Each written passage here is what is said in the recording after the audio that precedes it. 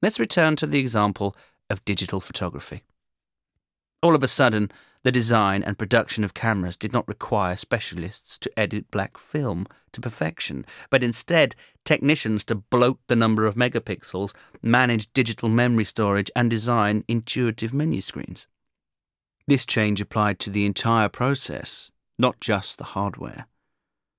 Kodak had a virtual monopoly on cameras, films, cubes, paper, and printing, most of which were rendered obsolete in the digital age.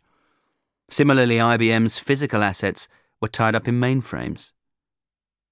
Its people were skilled in building big machines, and its strong corporate culture sustained itself by catapulting its most vociferous advocates to the top.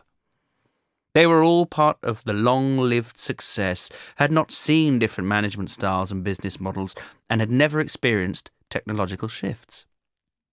This gave them tunnel vision and steeped them in hubris.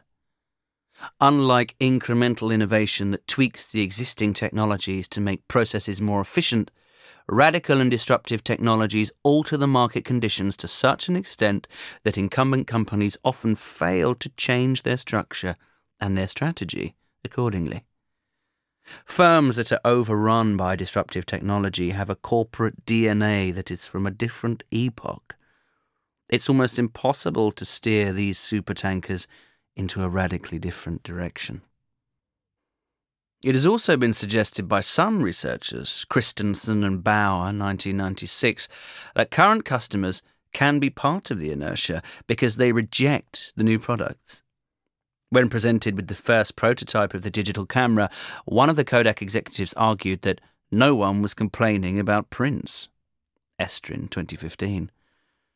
Customer inertia does not mean a firm should dismiss customer orientation.